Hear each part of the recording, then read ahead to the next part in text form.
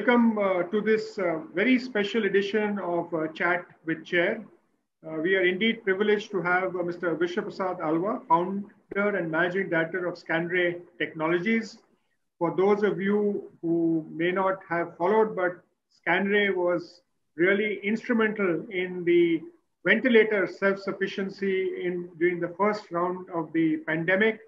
Of course, uh, he is a medical technologies entrepreneur and uh, he is, of course, respected as a medtech and electronics uh, technology expert. He advises, uh, you know, government and a lot of industry uh, members as well. he has a huge professional experience, including the head of technology integration in GE Healthcare in the US. He also served in GE in Bangalore and uh, he was also involved with Kirloskar Electric uh, Motors in, in, in, uh, in, the, in the field of R&D. I think his company is of the fastest uh, growing and largest Indian uh, medtech R&D and manufacturing company.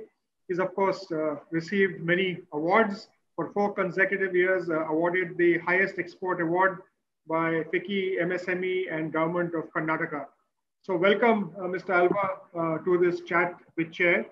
Thank you for joining us. Yeah, thank you for the, for, for the invite. Let, let me begin with a very uh, generic uh, question just to uh, you know, set the ball rolling. You know, in the second wave, um, you know, uh, industry, your company, other people have taken many steps to help in augmenting medical supplies during the second wave could you share with us uh, some uh, steps that you have taken as a company, what you what others have done, and what you're thinking of? Yeah, I, will uh, start with the short uh, introduction. No, the difference between the first wave and the second wave. When the first wave uh, struck, it was the NITI Aayog, the Ministry of uh, Health, the Ministry of Commerce, the Defense Ministry that came together and started looking at technology gaps and supply chain gaps uh, or as you know for the country as a whole. So the level of activity and speed that was there empowerment and uh, decision making was very quick. So what uh, and many other companies achieved in the indian market uh, along with public sectors like bharat electronics and drdo was phenomenal. It, that in uh, less than 8 weeks we delivered uh, 30,000 ventilators, manufactured them at BEL, got support from DRDO for supply chain and software validation. And uh, that was one very um, quick response to the pandemic. But uh, later on, you know, uh, there were a lot of uh, um, questions on the government why it was centralized. And I found that the government was slowly decentralizing it to the states asking the states to be ready and then uh, you know funding them. And that is where we missed. So if you ask what we have done for the second wave uh, it came totally uh, you know like like just like the first wave without any um, preparation. And what we are doing for the second wave is as uh, slightly worse than the first wave because there is no centralizing agency which is giving direction placing orders. Uh, in the first wave, we had uh, very clear orders from the government, and in the second wave, uh, co uh, the companies are looking at uh, requirements from various sources, and most of the state governments do not have funds; they are depending on CSR funds. On the industry side, of course, the first wave put some kind of alertness in the company, and capacities are, are quite high. And uh, Indian companies have um, have built uh, core technologies. Not I can't say core technologies, but manufacturing ramp up to be able to deliver uh, machines. Now, liquidity was a problem in the first uh, wave uh, to ramp up. Risk-taking abilities of MSMEs are very small, so nobody has kept stocks in anticipation of the second wave. Thank you for that uh, description between the first and second waves and how we actually work. Uh, I understand that you are actually you know, in discussions to ramp up uh, or start and ramp up uh, oxygenator, uh, you know, oxygen concentrator uh, capacity. You know, in that context, I'd like to first actually understand you know, the requirement, why is there a requirement of oxygen concentrators? And second, what are we planning to do and what, you know, uh, could we achieve in the next few months if things go well? Yeah, see the oxygen, the, the focus on oxygen concentrators came because there was a sudden flow into the hospitals with mild cases, which uh, which would really get into the ICU and critical cases. Um, oxygen supply, uh, it is not that the production is lower, but logistics, uh, you know, put a challenge. And uh, in, in a very idealistic situation, see, uh, prior to this pandemic in 2020 March, the entire installed base of ventilators was 14,000 or 11,000 ventilators and about six or seven in semi-working condition. And the number of intensivists that could intubate, that could intubate and wean a patient out of a critical, uh, you know, ICU ventilator was in the range of 11,000 to 15,000. Now, uh, in the second wave, the, the demand on the load on the hospitals is extremely high. And uh, people are coming at a very, very late stage to the hospital where they need oxygenated beds.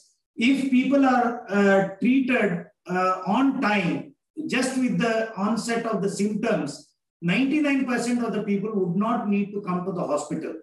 But uh, the, the, uh, the mechanism and the infrastructure that we have uh, has not been able to screen people and treat them at early stage. So we have the hospitals overloaded, both private sector and uh, public sector hospitals. The other difference that we see is um, uh, with the with the uh, in the first wave and between March 2020 and uh, you know March 2021, we have not added much capacity of uh, of doctors, intensivists, uh, respiratory uh, technicians and uh, paramedical staff because when the when the pandemic was waning it, it, didn't look like the, the second wave is going to be serious so there was in the private sector of course nobody will buy equipment and keep uh, anticipating the uh, second wave. In the public sector hospital, since it was not centralized, decentralized to the states, and states had, uh, you know, each state had its own way of tackling the problem, uh, we have landed in a situation where we have not uh, we are not prepared with that kind of uh, infrastructure to take. And uh, for your kind information, in the last 70 years of independence, we have covered only 20% of the population with uh, healthcare infrastructure. So expecting the government to build the infrastructure, you know, within one year to cover maybe 20 lakh patients uh, is uh, from 11,000 to 15,000 patients in ICU is something that, uh, you know, uh, it is humanly impossible. Uh, there are slips, there are loss, uh, you know, a little bit laxed focus on, on healthcare, but this situation could have been avoided if we had anticipated the second wave sometime in September, October itself, and then prepared for ICU beds in the public sector. Private sectors of will, will never buy equipments in large numbers and uh, look for return on investments. Oxygen, uh, um, uh, the need is coming because we have not prepared. Otherwise, oxygen concentrator was absolutely not necessary. Now, if you want to decongest the hospitals from mild cases, oxygen concentrators with uh, pulse oximeter and uh, the uh, prescribed medicines as per the protocol of All India Institute of Medical Science is the best combination to do at home. And that is where this uh, noise about oxygen concentrator is coming. Coming to the oxygen concentrator, it is not a very complicated product. A ICU ventilator is very complex, uh, but an oxygen concentrator is easy to make. It has got some electronics, valves, control systems and uh, then compressors and zeolite material which will enrich the oxygen. Now, uh, compressors and electronics and fluidics is something that the country is already having the capacity. Zeolite is, is not available and it is in short supply. Uh, and now Bharat Electronics and BPL are working on, on an option to uh, ramp up the oxygen concentrator uh, production in the country. There is a lot of imports coming, and uh, BPL has been making in uh, smaller volumes in the past. Uh, Skanray, along with ECIL, is trying to augment the supplies of BEL and BPL once they have saturated their capacity. Um, and to be uh, to uh, to give a summary of that, oxygen concentrator is needed because of the lack of preparedness of the public system, healthcare system, which again is uh, uh is uh, is due to multiple uh, factors. in China, for example, they have a huge uh, population of uh, concentrators and they used it effectively. So you believe that, uh, you know, uh, till we ramp up the healthcare facilities and we have more ICU beds and more oxygen, which will take a few years. You can't ramp up, I think you said 11,000, uh, you know, you, you, have to take that up to much more. But uh, I think if, you, if you see that concentrators are required. Now, you know, very just just uh, the RBI has announced uh, a new funding mechanism. You know, a fifty thousand crore uh, liquidity fund for healthcare sector. What do you think? If, you know, it would be the impact of this sector and will it help uh, people ramp up production because it covers not only hospitals but also talks about uh, equipment manufacturers, logistics suppliers. So, what is your view on this 50,000 crore fund? See, we have to look at uh, look at it sector wise. Even in the medtech sector, there are multinationals. That is, uh, you know, GE, Siemens, Philips, who are you know billions of dollars, who do not depend on the Indian banking system either to scale or for working capital. Then there are uh, mid-sized companies uh, that are you know, in the range of 100 crores to 500 crores in the medtech sector. And many of them are predominantly traders importing from China and distributing in the country. And then there are small, very small medtech companies that are in, in you know, 10 to 25 crores of uh, working capital. Uh, now, uh, this 50,000 uh, crores that the government has uh, announced as, as liquidity for the healthcare sector can ease a little bit of the working capital requirements of these companies. Uh, it will not result in any strategic investment decisions because that is based on long-term fundamentals of the Indian medtech and healthcare distribution system. Unless you see Ayushman Bharat reaching out to the rural areas, unless we see PHCs upgraded to uh, high-tech hospitals, uh, we will not see activity of uh, uh long-term investments in the country. For working capital, yes, the banks were very, very slow in releasing.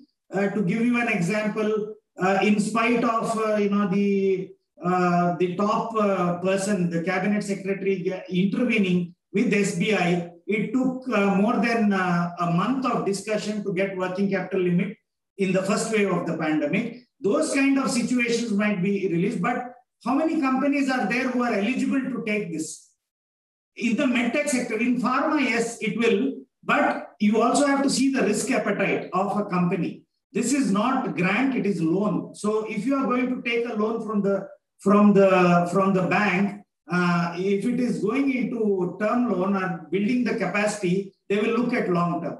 For the market, we have to see what we can do, deliver in that six months or one one year's time. So it's a welcome move, but I do not really look at it uh, really stirring something long term in the in the country. I think the long term uh, solution has to be found in the national infrastructure pipeline and the healthcare projects there. I think that that uh, is another discussion. I don't really want to go into it uh, at this yes. point of time. But I would like to get your literally um, uh, your views. I know you talked about the BPL, uh, BBEL, and the ECIL and Skanray thing uh, what would actually make it happen? You know, you said that the Niti Aayog and other people last time really focused on enabling you to make ventilators, and now that you're install, uh, you're exporting ventilators.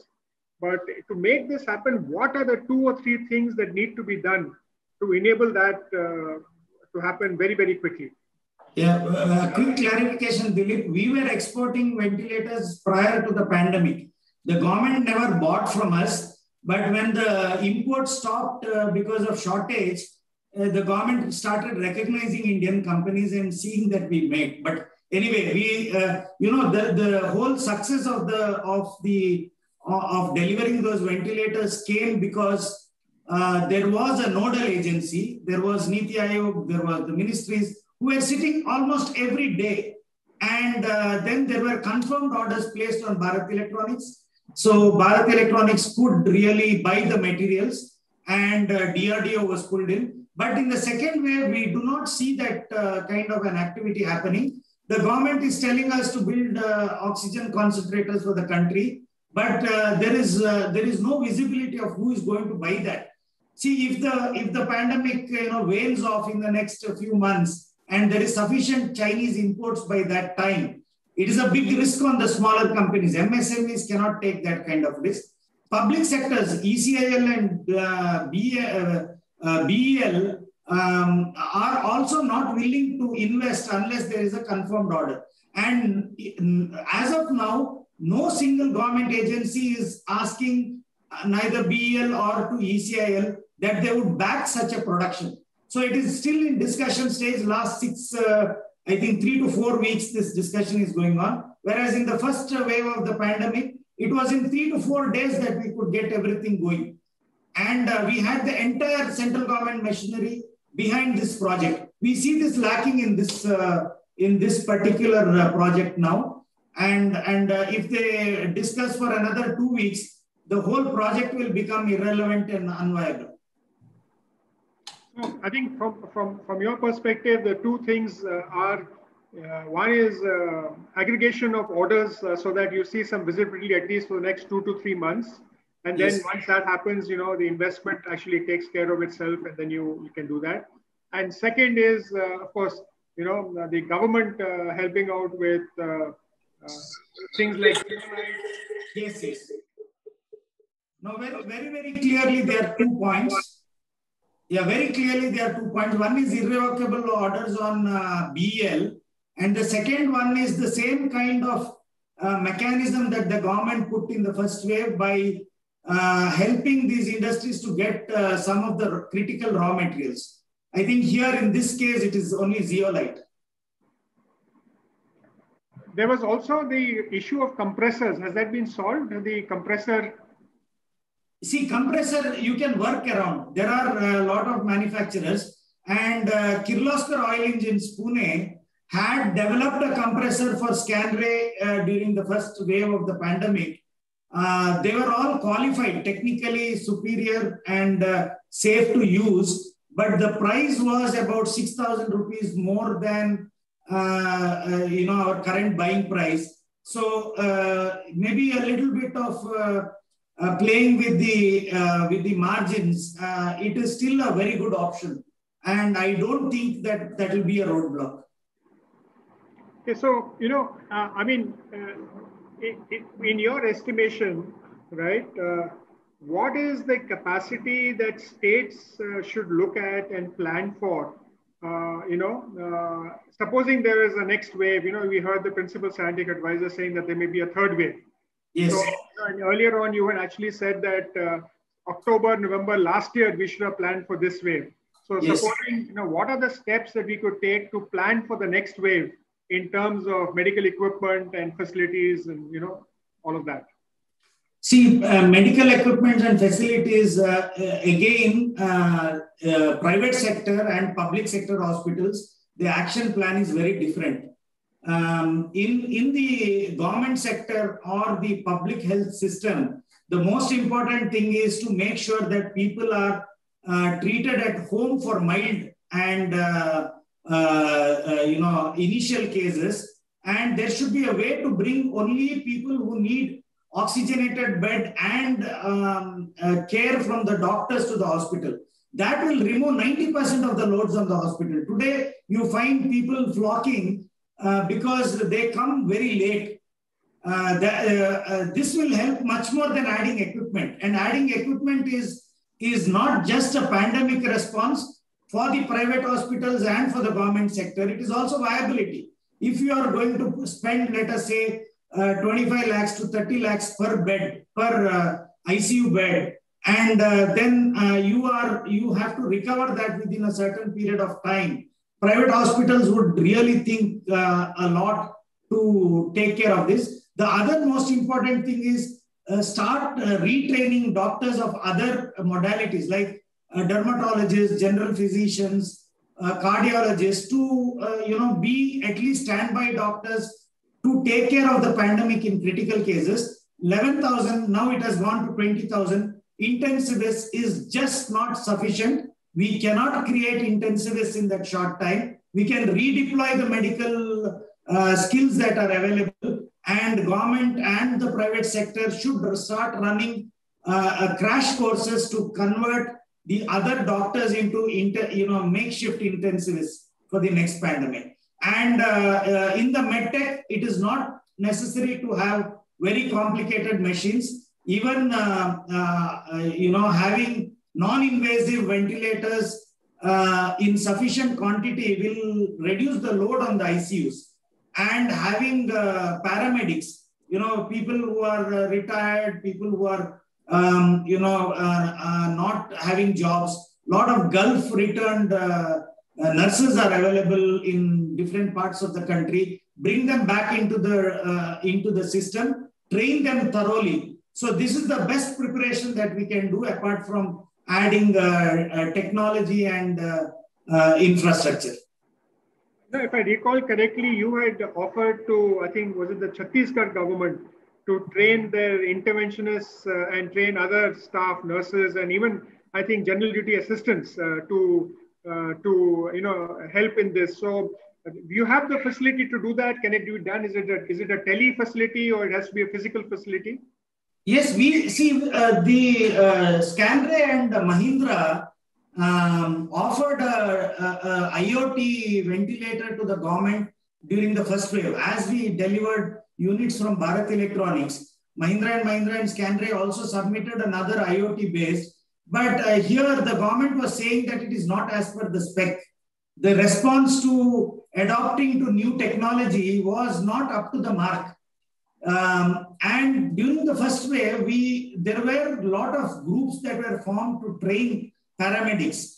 Now, uh, this time, uh, even Chhattisgarh, I don't want to blame the government because the situation is really out of control and anybody in that position, uh, you know, they have a limitation. But they have not been able to put all the paramedics for a training program because they are all overwhelmed, overworked. They come at six o'clock, leave at one they are not willing to attend more training programs and they're just looking for, for being alive or to keep people alive for the day. So it is not a time, even though we are, you know, we give lots of ideas, suggestions, comments to the government. I understand that this is not the time to push certain things. So we have to, what we can do is uh, as, a, as a company, we can treat people in our neighborhood, take care of them, educate them, make sure that they get the right medicines, and reduce the burden on the hospitals. But these are all preparations for the next wave. So, you know, even in this pandemic times, you are still running your factory because it's an yes. essential service. Can you just share with viewers what are the COVID appropriate precautions and behaviors you are taking in your factory, which they could also adopt to keep the factories running? Yeah, again, I'm uh, comparing between the first, in the first wave, we had zero absenteeism. Uh, we we uh, just ensured masks, social distancing, sanitizing. We are sanitizing the factories. We were tracking the family members of all the employees. We are about 700 people in two plants in Mysore, about 100 in Italy. Italy uh, unit was a little bit impacted for a few days, but, but they were still up and running. In the second wave, uh, we are hit uh, with uh, at least 20% of the of the workforce, um, you know, hit by the pandemic, and um, all the measures that we took last time did not work very effectively now. But what we found is people who have not traveled outside, people who have not attended marriages, uh, festivals, and not been roaming in the market have never got uh, impacted. And if we are able to screen people early, we can keep the workplace safe. So fundamentally, your message is that uh, to companies, one, uh, of course, uh, follow uh, social distancing, enforce wearing masks and sanitize, uh, sanitizing of hands, etc., as well as sanitizing the workplace. Second is communicate with your member, with your workforce that please don't go out into crowded spaces, even if it's a wedding or a party or a marketplace. Uh, stay away uh, because that will keep you away from uh, the uh, disease and you can be much more uh, productive. Third thing that uh, you missed is tracking the family members of the employees. So there were smaller groups that were trying to find out if any relative or any of our employees have some symptoms in their home. We are not looking at uh, being positive, but even mild symptoms, you know, we used to isolate. So that helped in the first place. Yeah. Okay. So if, if, if, if just to recapitulate, one that you know, following COVID uh, appropriate behavior in the plant, that is wearing a mask, in, ensuring social distancing, and uh, of course, ensuring that people wash their hands, sanitize, and also sanitizing the plant. The second uh, most important uh, message that you gave is that the workers and yes, their families should not actually go out uh, into crowded places, should not go out and, uh, and participate in weddings and festivals and other things.